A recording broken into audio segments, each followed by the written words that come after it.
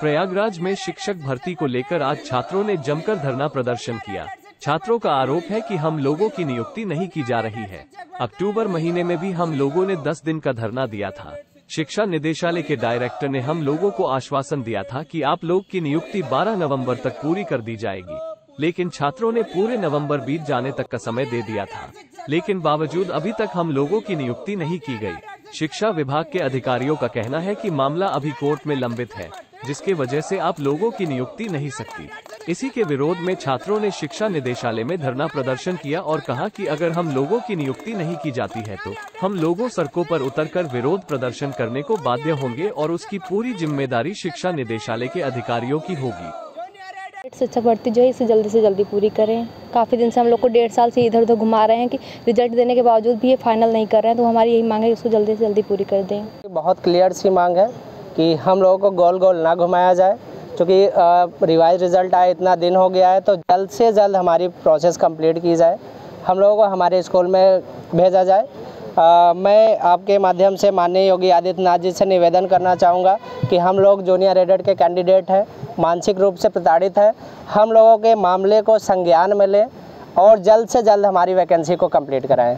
बस इतनी सी बहुत सिंपल सी हम लोगों की मांग है। धरना प्रदर्शन का कि हमारा जूनियर एडेड शिक्षक भर्ती जल्द से जल्द पूरा हो। क्योंकि हम लोग पिछले डेढ़ साल से यहाँ पे शिक्षक भर्ती को लेकर आंदोलन मतलब जारी करे हैं। लेकिन यहाँ पे जो अधिकारी हैं, अधिकारियों की लापरवाही की वजह से ये भर्ती आज फंसी हुई है। क्योंकि जब इसका विज्ञापन जारी हुआ था, विज्ञापन में भी केवल ये था कि आप जो है परीक्षा कराइए। इसके पहले जो जो इसमें चयन होता था, वह स्कूल के मैनेजरों के द्वारा होता था। लेकिन माननीय मुख्यमंत्री जी के दृढ़ संकल्प के द्वारा ये ये जो है पहली बार भर्ती आई। जब जब इसका एग्ज़ाम होता है तो एग्ज़ाम में भी धांधली हुई जो भी हुआ उसके बाद पुनर्मूल्यांकन हुआ। पुनर्मूल्यांकन के बाद ये लोग हम लोगों से लगातार बोल रहे हैं कि आपकी आपकी ये शिक्षक भर्ती पंद्रह दिन में पूरी हो जाएगी बीस दिन में पूरी हो जाएगी। सितंबर से लेकर अभी तक लगातार हम लोगों को बरगलाया जा रहा है कि जूनियर शिक्षक भर्ती अब पूरा होगी तब पूरा होगी। इसी के संदर्भ में हम लोग यहाँ पे 10 दिन का आमरण अनशन भी किए थे धरना प्रदर्शन अनुरोध भी किए थे लेकिन उसका कोई भी वो नहीं था। डायरेक्टर बेसिक आगे का चली गई।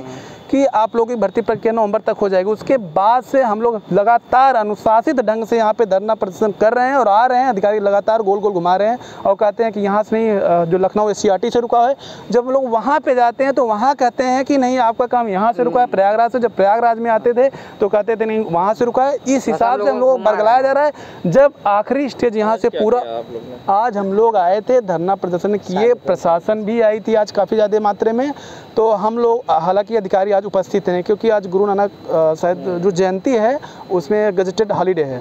जो भी है गुरु गोविंद सिंह। जयंती। तो अधिकारियों से बात हो नहीं पाई इसलिए हम लोग अभी जो है अभी अपनी इस धरना प्रदर्शन को समाप्त करेंगे। आगे जैसे ही अधिकारियों से बात होगी और जिस हिसाब से उनका इनपुट वो जो भी आएगा उसके बाद हम लोग आगे की स्ट्रैटेजी तय करेंगे।